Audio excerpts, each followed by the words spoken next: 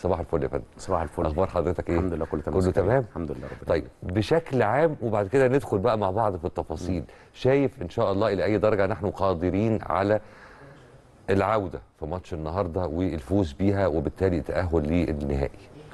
خلينا نتفق يا أستاذ كريم إن المباراة صعبة جدا. طبعا. حتة التوقع ان إن أنت تتكلم في جزئية إن إحنا مثلا تكسب وطبعا النادي الأهلي ممثل الكرة المصرية بالتأكيد لازم كل الناس بتفكر وعندها أمل كبير في النادي الأهلي ولاعيبه النادي الأهلي تكون على مستوى الحدث النهارده وكعادة النادي الأهلي في المباريات ال- الصعبة إن بيكون ليه مردود إيجابي وانه يقدر يتخطى الموقف الصعب جدا.